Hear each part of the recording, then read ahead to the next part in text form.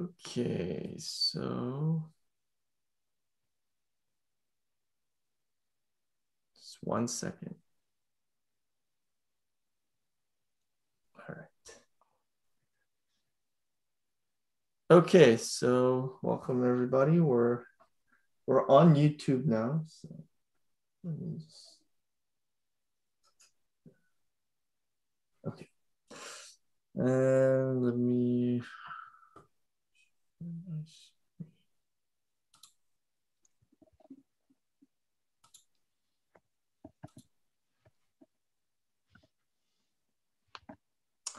Okay, let us pray and we'll begin our Bible study.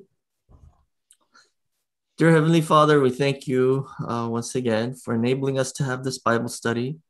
Uh, as we are in the midst of the season of Lent, please be with us and enable all of us to be uh, strong willed so that we could keep whatever resolutions that we may have committed to at the beginning Help us to keep the season of Lent godly and holy. And may we truly be able to live a life that is set apart uh, so that you may be pleased with our lives and that we may be able to glorify you with all of our words and our deeds.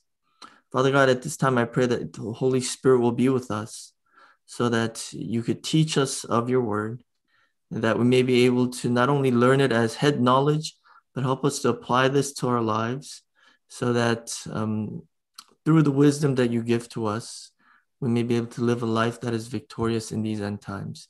We thank you so much for your grace, and we pray all of these things in the name of our Lord Jesus Christ with thanksgiving. Amen. Okay, so welcome everybody. Uh, today's our third Bible study for the season of Lent. We have one more to go after this. Today we're going to study about uh, the 10 plagues and the time of his visitation.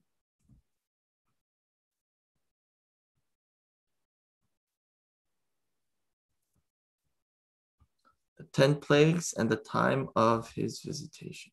So, first, we're going to read from Genesis chapter 50, verses 24 through 26. Let's read that real quick.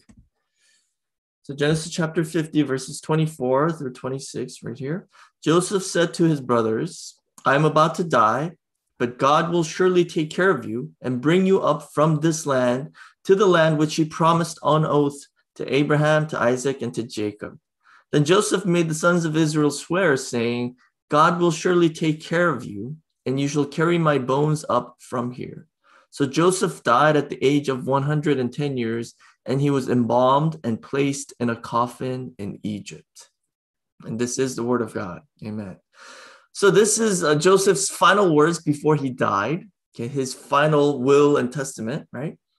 And there's something that he emphasizes here. He says it twice. He says, I'm about to die, and God will surely take care of you, okay, and bring you up from this land.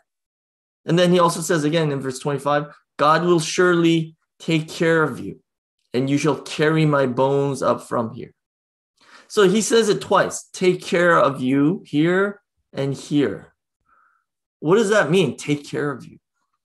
In Hebrew, the word is pakad. Okay, pakad. And this word pakad has many different meanings. It's like one of the hardest words to translate. But one of those meanings is to visit. Okay. So when he says God will take care of you, basically what he's saying is God is going to visit you sometime in the future. Okay. I'm going to die, but God's going to visit you. And when he does, he's going to take you out of here back to Canaan. And when he does that, when he comes to visit you, carry my bones up from here. He made them swear it. Okay, he made them swear. So Joseph said, I mean, he was certain. He said, God is going to visit you someday. He's going to come, he's going to come down into Egypt and he's going to take you out. And that's what we call the Exodus, right? So that's why uh, we're going to talk about the 10 plagues and the time of his visitation. The when the Exodus took place, when the Exodus took place, that was basically the time of God's visitation upon Israel. And in order for the Exodus to happen, what did he need to do first? He needed to bring the 10 plagues on Egypt first because Pharaoh had hardened his heart, right? So this also was part of God's visitation upon Israel. Okay?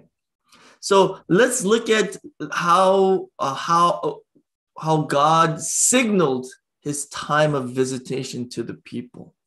If you go to Acts chapter 7, verse 17 through 19, this is what it says. But as the time of the promise was approaching, which God had assured to Abraham, the people increased and multiplied in Egypt until there arose another king over Egypt who knew nothing about Joseph. It was he who took shrewd advantage of our race and mistreated our fathers so that they would expose their infants and they would not survive. See that? It says, as the time of the promise was approaching. That's the time that God promised to Abraham. Okay. God promised to Abraham that the Israelites would suffer for 400 years in Egypt and then God will take them up, right? So no human being was counting this because you know 400 years that's a long time. That's more than a, a, lifetime of a person. So people had died so they forgot.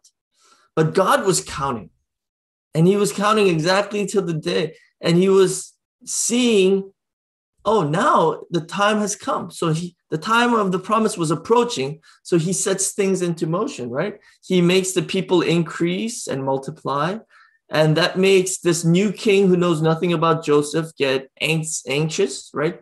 Because he's thinking these slaves are our enemies. If they get bigger than us, if they, they get more, become more numerous than us, then they're going to take over.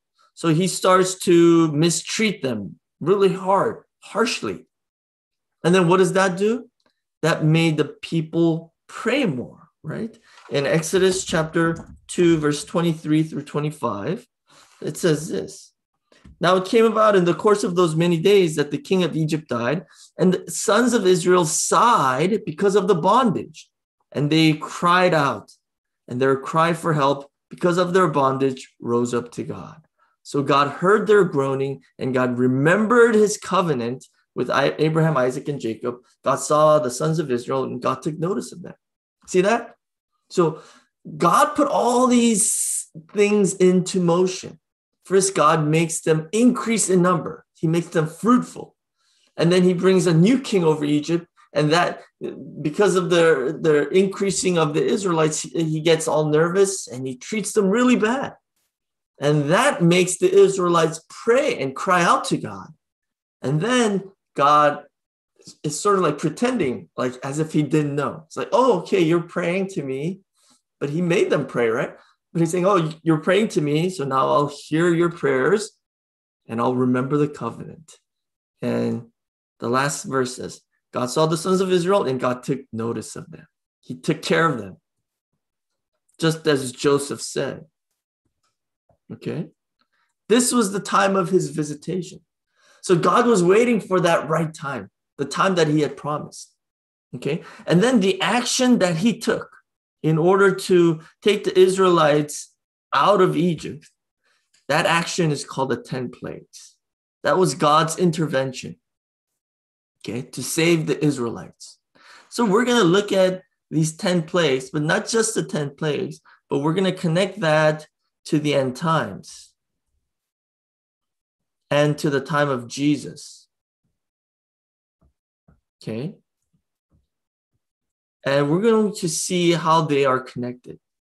And we're going to see how these 10 plagues are actually actually did take place during Jesus' time and also during our time as well. Okay, so let's look at them uh, by order. Number one, Jesus, uh, God turned water into blood, right?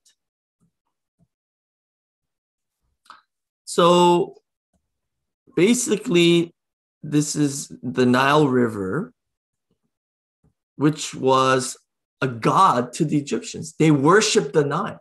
Okay, it was their god. It was their life-giving source.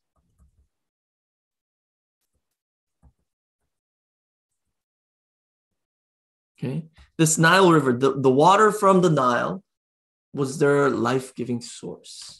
Okay. Without it, they would die. And what did God do? He turned that water into blood. Okay. Now, blood has two meanings, dual meaning, right? Blood sim- symbolizes life. That's what Leviticus chapter 17, oops, chapter 17, verse 11 says. It says, because there's life in the blood, you could use, you could shed blood to make atonement for your sins. But on the other hand, blood also signifies death. Why? Because when the blood is inside your body, it's life. But when it comes out of your body, it's death, right? When you lose blood, you die, right? So it has dual meanings. So the fact that water turned into blood means that this life giving source now became death for the Egyptians. Why did God do this? And one of the immediate reasons why he did this was because the Egyptians killed the Israelite babies in the Nile. They shed a lot of blood in this river. So God is now taking vengeance upon them by this by turning the water into blood. Okay. So this is a judgment upon this is God's judgment upon the gods of Egypt. Who are the gods of Egypt? Like Pharaoh and many of the animals, they worshiped animals. The Nile River was a god of Egypt. But let's connect this today. Who is the God of gods of today? Whatever we uh, receive, you know, whatever we feel is a life giving source, that's what we worship. That's what water symbolizes. It's a life giving source, right? So people whose lives are dependent upon money, they worship money. The God of money is called mammon, right? And Jesus clearly said you can't serve God and mammon at the same time. Some people, you know, worship themselves.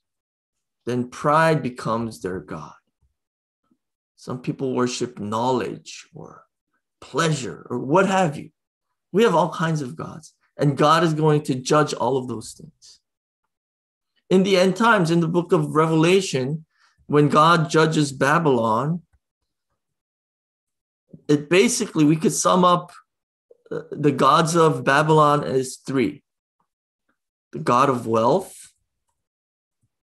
Okay, Babylon was a very rich country, and everybody made a lot of money off of them but then it got destroyed in one day. And everybody was destroyed along with it right? Second is the god of pride human pride. Okay? They took pride in their own ability to bring salvation upon themselves. Human beings they thought we don't need god because we have all the ability to save ourselves.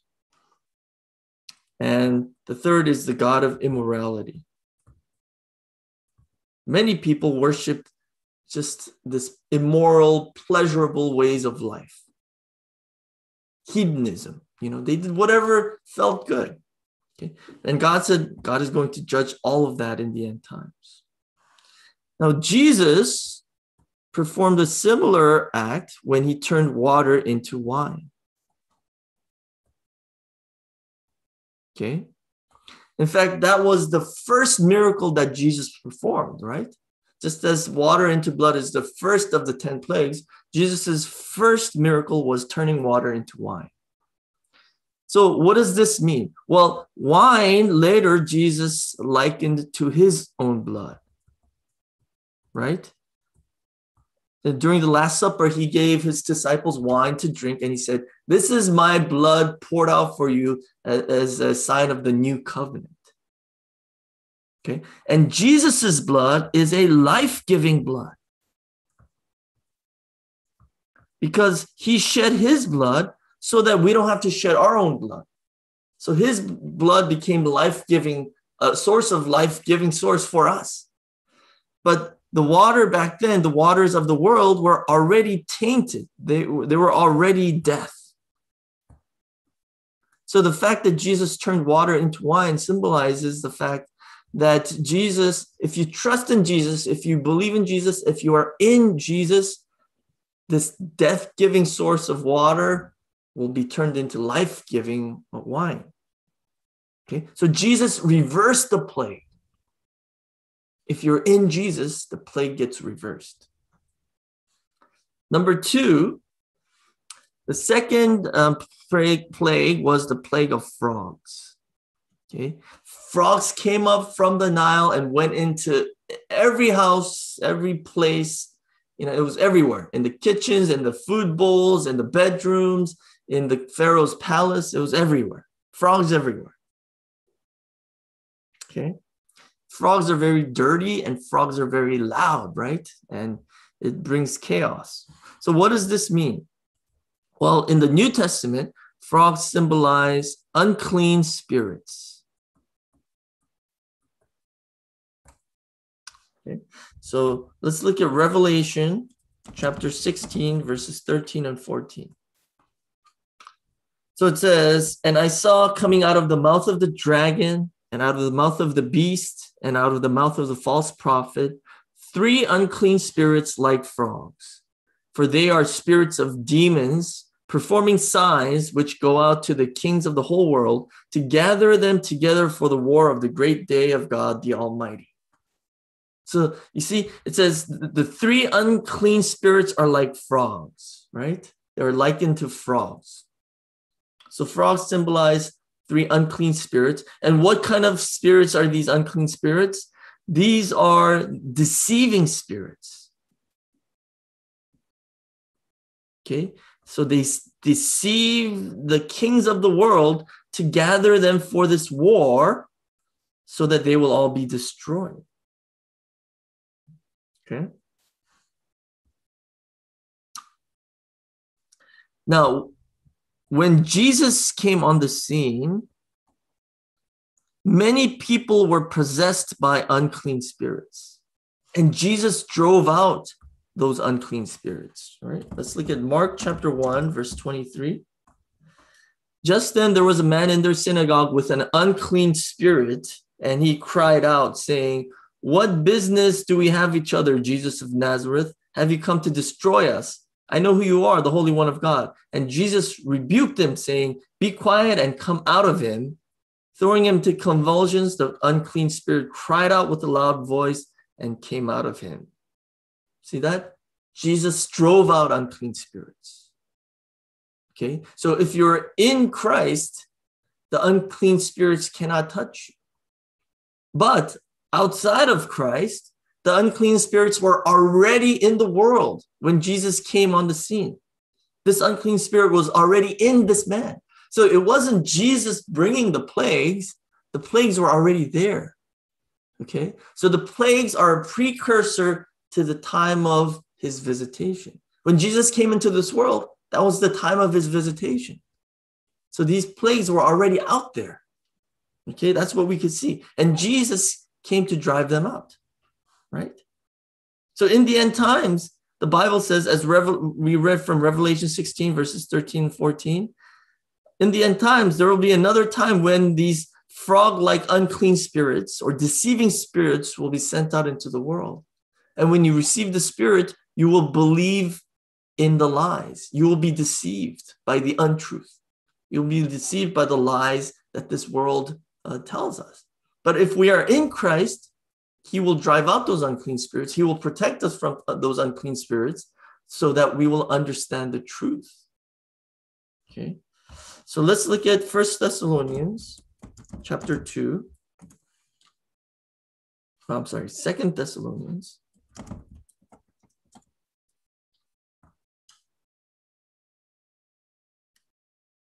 so this is talking about the Antichrist here. Okay. When the Antichrist comes, it says that is the one whose coming is in accord with the activity of Satan, with all power and signs and false wonders. So the Antichrist will come and perform all these signs, right? And with all the deception of wickedness for those who perish, because they did not receive the love of the truth so as to be saved. For this reason, God will send upon them a deluding influence so that they will believe what is false. So this is sort of like the plague of the frog. If you do not receive this right, here, the love of the truth, see, you have to receive that. It's not something that you have or you could just get whenever you want. You have to receive that from God. That's God's grace. The fact that we're here gathered on a Tuesday night, Bible studying on Zoom, I, I hope and believe that this is a sign that says that we have received this love of the truth so that the truth of the word of God seals us, so that the deluding influence here will not affect us, so that we will not believe what is false, but we will love the truth and follow the truth and stand uh, with the truth.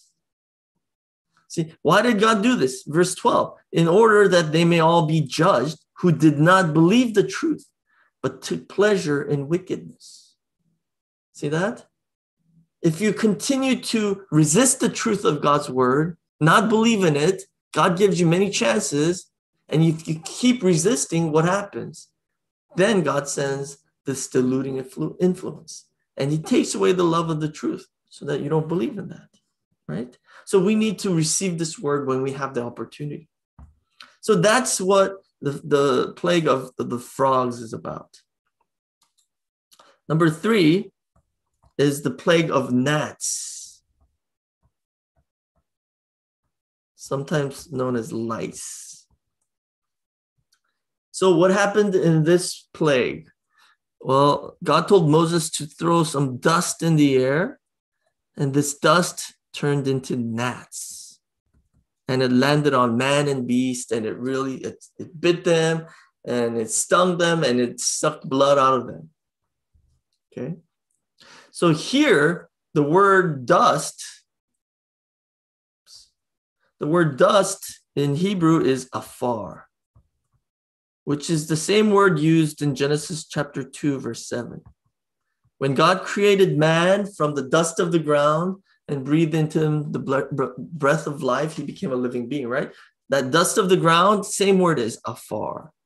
So, dust in the Bible, afar, this word symbolizes man minus the breath of life. Okay, because in Genesis 2 7, God took the dust, he added breath of life into it, and he became a living being. Right? So, dust is, if you subtract the breath of life, all you have is dust. And the breath of life we have learned is the Spirit of God, right? So, man who does not have the Spirit of God, man who's lost the Spirit of God, is at the level of the dust. And that dust becomes gnats. But also in Genesis chapter 3, verse 14, this dust, the Bible says, is food for serpents. When God cursed the serpent, he said, Dust will be food for you all the days of your life. So, in other words, spiritually speaking, if we are at the level of the dust, we will become the serpent's food. We will be devoured by the serpent, by Satan. Well, that dust became gnats and it became really annoying. It was like this thing that just sucks the blood out of you, sucks the life out of you, right? Okay. And this again is talking in a spiritual sense. We will notice that plagues number two, three, and four frogs, gnats, and then number four is flies. These three are all related. They're all talking about unclean spirits, spirits of demons, evil spirits. Okay, these are deceiving spirits and evil spirits that is out there in the world that we could get bit by and it will suck the life out of us. Okay, these spirits are out there. That's what the Bible is teaching us. That's what the gnats are. So in the New Testament, what happened with these gnats? Well, first of all, in Matthew chapter 10, verses 14 and 15, when Jesus sent out his disciples to evangelize, When Jesus sent out his disciples to evangelize, this is what he said In verse 14, whoever does not receive you nor heed your words as you go out of that house or that city, shake the dust off your feet. Truly, I say to you, it will be more tolerable for the land of Sodom and Gomorrah in the day of judgment than for that city. So if you go to a place, if you go to somebody's house, or if you go to a town or a city and they don't receive you, they don't receive the gospel that you're preaching, Jesus said, shake the dust off your feet. This is a symbolic act. It's basically saying you guys, you are like dust now. You are uh, deemed for judgment now because you refuse to receive the word of God. Right? So gnats are people that have been assigned to judgment. Okay. Let's go to number four. Four is flies, right? Or swarms of flies.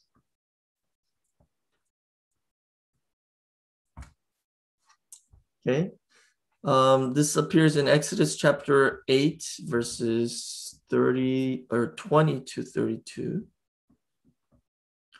The word, the Hebrew word for the swarms of flies is arov, which comes from erev, which also means like confusion, chaos.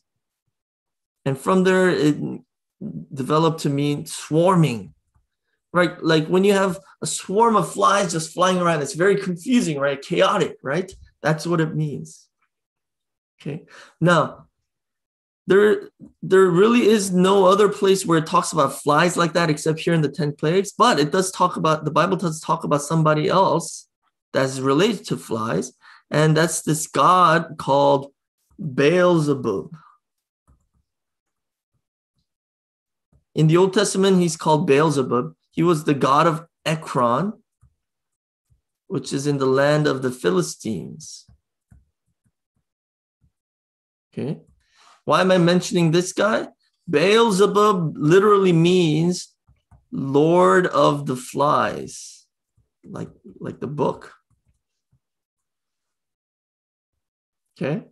And then in the New Testament, this name gets becomes like uh, Greek. In the Greek, it is, whoops, it is Beelzebul. It's the same God, the king of the flies. But in Luke chapter 11, verse 15, he is called the ruler of demons. Okay, let's look at Luke 11, 15. So, but some of them said he casts out demons by Beelzebub, the ruler of the demons you know what this verse is talking about, right? Jesus was casting out demons, right? And his opponents, like the Pharisees and the religious leaders, were saying, Oh, you know, that guy Jesus, he's casting out demons because he is the Beelzebub, or he's using Beelzebub, the ruler of demons, to drive out demons. And Jesus answered him, verse 17 Any kingdom divided against itself is laid waste, and a house divided against itself falls. If Satan also is divided against himself, how will his kingdom stand? For you say, I cast out demons by Beelzebub. And if I by Beelzebub cast out demons, by whom do your sons cast out? So they will be your judges. But if I cast out demons by the finger of God, then the kingdom of God has come upon you. So basically, what Jesus is saying is, no, I'm not casting out demons by Beelzebub. I am casting him out by finger of God, and the kingdom of God has come upon you. Okay, so since Beelzebub was known as the Lord of the Flies, and in the New Testament, he is known as the ruler of demons, thus, flies, spiritually speaking, symbolize demons or evil spirits, right? So, like just like the swarms of flies that just comes around, you know, and they're like flying around, buzzing around, and it's very confusing and chaotic. Okay. The Bible is teaching us that in the end times, just before the coming of Christ, this world will be filled with demons like this. Evil spirits that are out there that we cannot see. That's what the Bible says. If we believe in the Bible, you have to believe in this too. Okay. but we can't see them, right? So we're not aware of that. But if you look in Revelation chapter 18, verse 2, it talks about Babylon, right? And he cried out with a mighty voice, saying, Fallen, fallen is Babylon the Great. She has become a dwelling place of demons and a prison of every unclean spirit and a prison of every unclean and hateful bird. Right? And we've learned that Babylon symbolizes this world, right? That we're living in right now. So the Bible is saying this world is full of demons and unclean spirits in the end times. Right now, it's out there. Okay. And it's trying to deceive us. One of the main things that these the demons and the unclean spirits do in the end times is it deceives people to stray away from God. Okay. So as I said, uh, frogs, gnats, and flies are very related. They're related to each other. They're all talking about some kind of spiritual beings like demons or unclean spirits or deceiving spirits. Okay. Number five, then we had pestilence. Pestilence is in Exodus chapter 9, verses 1 through 7. So, pestilence is like a contagious disease that came on the um, livestock of the Egyptians, on the animals. Okay, so there was it was a contagious disease on the animals, and it was it was only on the Egyptian animals. The livestock of the Israelites were spared. Okay. So what is this uh, plague teaching us? Well, these livestock like cows and sheep of the Egyptians, they were their gods. They worshiped these animals. So God was bringing judgment down upon the gods of Egypt. But also, the word for pestilence in Greek is thanatos. Does that sound familiar? It's related to the word Thanos. From the Avengers, right? And Thanatos means death. So you know, like the Black, Black Plague in the Middle Ages in Europe was called the Black Death, right? Um, so the plagues or pestilence was called thanatos in Greek, which literally means death.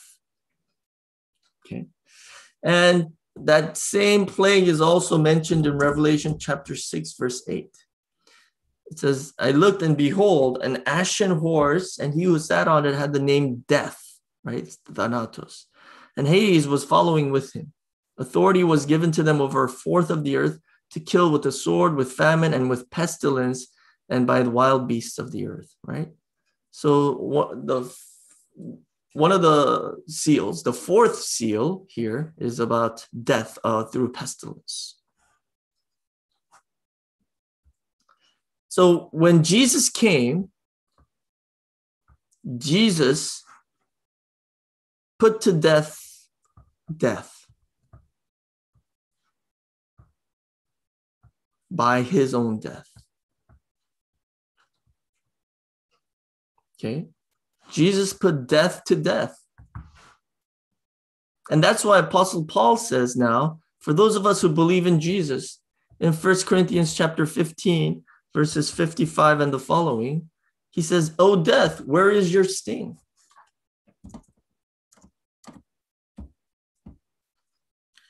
See right here. Oh, death, where is your victory? Oh, death, where is your sting?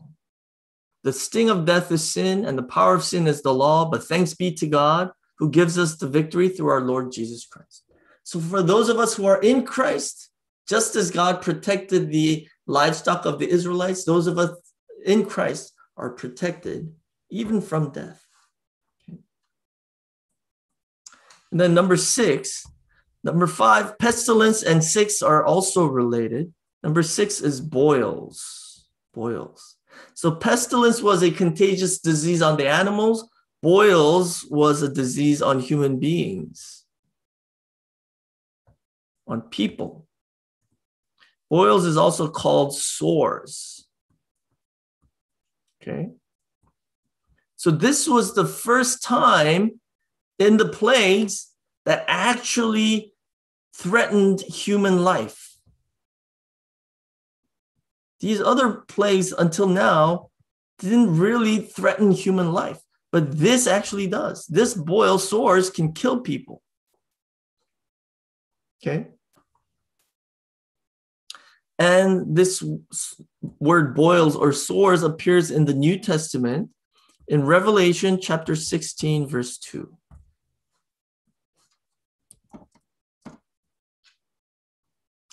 So the first angel went and poured out his bowl on the earth, and it became a loathsome and malignant sore on the people who had the mark of the beast and who worshiped his image. See that? This word sore is that very word, same word. In he in Greek, it's helkos. And who was this given to? When the first bowl of wrath was poured out, sores came on people who had the mark of the beast. That's 666, right? If you receive the mark of the beast, this malignant sore will grow on you. Helkos. Okay? So, what does that mean? Does it, is it literally talking about this kind of disease, uh, uh boils or sores? Well, one of the characteristics of this disease is this. In verse 11, we're in Revelation chapter 16, verse 11 here. It says, and they blasphemed the God of heaven because of their pains and their sores, and they did not repent of their deeds. So, one of the characteristics of the people who have sores is that they refuse to repent. Even though it's so painful. You know, when you're in pain, you tend to, your heart tends to soften, right? And you want to repent. You want to seek forgiveness. You want to pray, right? Know, last week I had toothache. It was so bad that I was literally like praying to God, crying out to God because I was in such pain, right? But these people who have these sores, it was very painful and yet they refuse to repent. Why is that? That's actually a, a, a characteristic of the sore. Okay. Because in the Old Testament, boils, when boils developed, what did they turn into? They turned into leprosy. Okay. Let's look at Leviticus chapter 13, verses 18 through 25. Leviticus 13, 18 through 25. So it says, when the body has a boil on its skin and it is healed, and in the place of the boil there's a white swelling or a reddish white bright spot, then it shall be shown to the priest.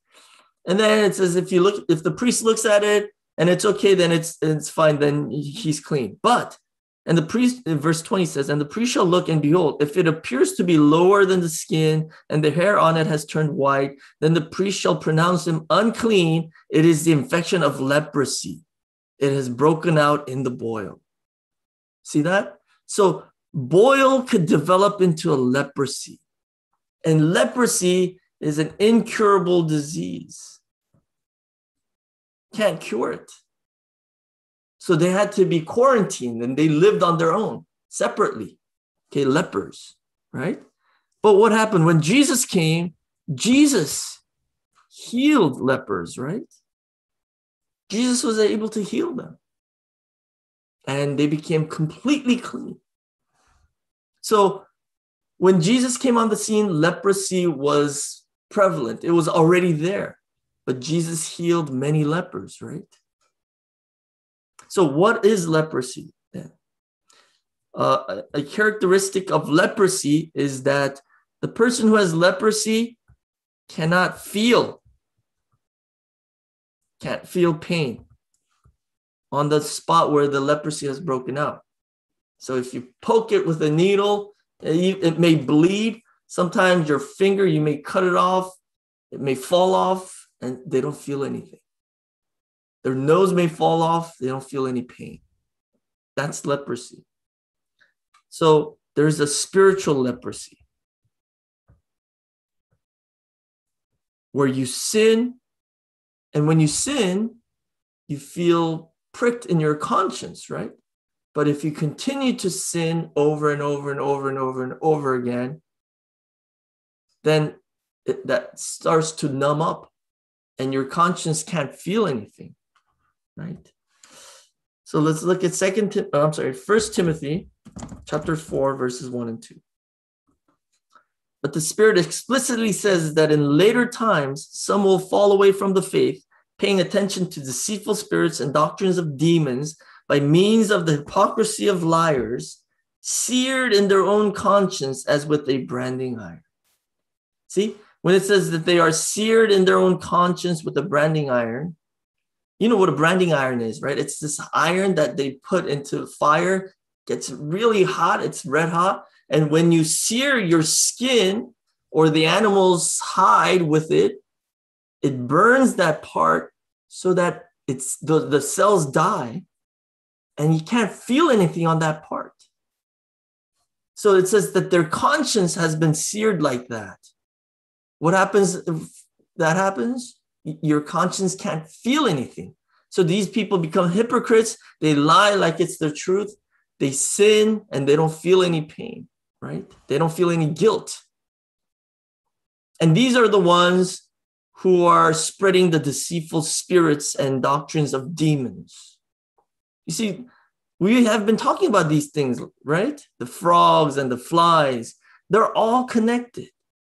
When the frogs and the flies come upon you, then you may get boils, which leads to leprosy. Then you can't feel any guilt. You believe in the lies. You turn away from God, and you are doomed for destruction. That's what the 10 plagues are all about. So, when God brought about the sixth plague and Pharaoh refused to repent in Exodus chapter 9, verse 12, it says something that we need to pay attention to. And the Lord hardened Pharaoh's heart, and he did not listen to them, just as the Lord had spoken to Moses. So here it says, the Lord hardened Pharaoh's heart. Up to this point, it was Pharaoh hardening his own heart and not listening to God. But after the sixth plague, after the plague of boils, God hardened Pharaoh's heart.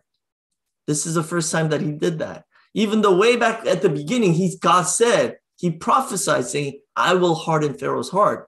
He was talking about the future, but this is the first moment where he's actually doing that.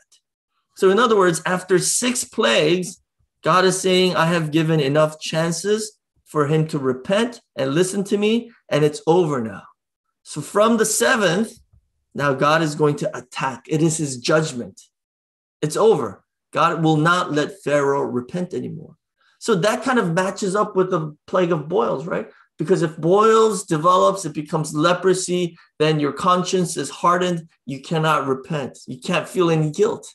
So Pharaoh has gotten to that point now. That's what this is telling us. And that same thing has happened when Jesus came. When Jesus came on the scene, the Israelites received so much grace. They saw so many of signs from Jesus, right? He performed many signs, but what did they do? They still did not believe, right? So it says here in John chapter 12, verse 37 But though he had performed so many signs before them, yet they were not believing in him. So now what is Jesus going to do? In verse 38, he says, This was to fulfill the word of Isaiah the prophet, which he spoke. Lord, who has believed our report, and to whom has the arm of the Lord has been revealed? See, the arm of the Lord, that's Jesus. He's been revealed to Israel, right? But they would not believe in him. So what did they do? In verse 39, for this reason they could not believe. For Isaiah said again, He has blinded their eyes, hardened their heart, so that they would not see with their eyes and perceive with their heart and be converted, and I heal them. See? God said, I have given you enough chances. Now I'm going to harden your heart. You have lost your chance to repent. So, this is the time of his visitation. When Jesus came, that was the time. God had visited them, but they did not get it. They did not understand it. They did not believe in him. So, Jesus wept because of that.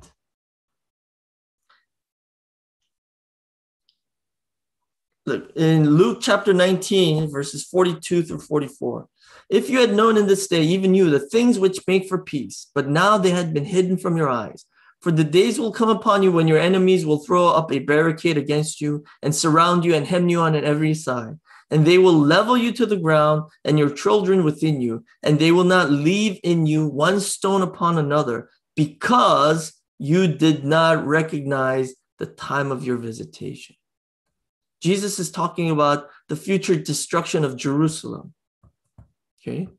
And this happened exactly like that, like Jesus said in AD 70 right? The Romans came and killed everybody. They cut open their guts. You know why? Because uh, they heard rumors that they said that uh, the Jews were hiding their wealth, like their gold coins, by swallowing it. So after not just killing them, after they killed them, they would cut open their guts to see if there had they had any gold coins within them, right? This all happened because it says, you did not recognize the time of your visitation. In the Old Testament, the 10 plagues were a sign of the coming of God's visitation. And when Jesus came, the 10 plagues, all of the elements of the 10 plagues were already happening in the world, in Jerusalem, in Israel at that time. And Jesus was curing people from those 10 plagues. And when people saw that, they should have recognized that God had come into this world. So we need to do the same. We need to now recognize are things like the 10 plagues happening to us right now, happening around us right now? Are there deceiving spirits? Are there people who did not receive the love of the truth, so they fall into the deluding influence? No matter how hard you try to uh, convince them, they won't believe in God, right? These things are already happening to us right now. So, what we need to understand is that the time of God's visitation is close. And if you don't recognize that time, it's the same thing that happened 2,000 years ago to Jerusalem can happen to us. So today we're going to end here with boiled uh, with plague number six. We'll continue next week with number seven. But I hope all of us will take this a lesson to heart and look around see if the signs of the time of his visitation are around us. Okay. And we need to be prepared for that. Let's end by reading first or second Corinthians uh, chapter 6 verse 2. Second Corinthians chapter 6 verse 2.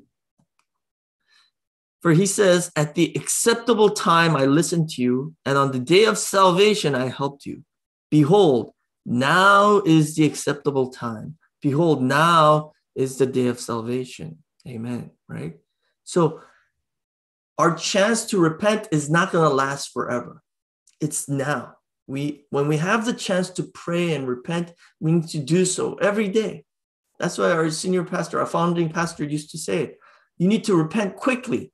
Whenever you remember if you've done something wrong, do it right there at that moment. Don't put it off because you never know if that chance will come back. Okay. Now is the acceptable time. This is the time when God is hearing our prayers. So I hope and pray that during this season of Lent that we will pray, we will repent, we will be renewed so that our spiritual eyes will be open so we could see what's going on around us, that the 10 plagues are already happening. The time of our visitation is at hand. So we need to be ready and prepared. Okay. Let us pray. Dear Heavenly Father, we thank you for your grace. We thank you for the Bible study you have given to us. Father God, help us to open our eyes of faith and our spiritual eyes so that we may be able to see and recognize the 10 plagues that are happening around us. Help us to know and be aware of the time of our visitation and help us to be prepared, first and foremost through repentance and renewal and through prayer, and also by just feeding ourselves with the Word of God daily so that we could be prepared for the wor- the famine of the word that is to come. Father God, I pray that you will enable all of us to be armed with the love of the truth so that the deluding influence will not affect any of us, but that we may always remain in the truth and in your word so that we may be protected like Goshen was for the Israelites and like the people who were in Jesus Christ were protected 2,000 years ago. We thank you so much and we pray all this in Jesus' name. Amen. Let's give glory to God with our applause.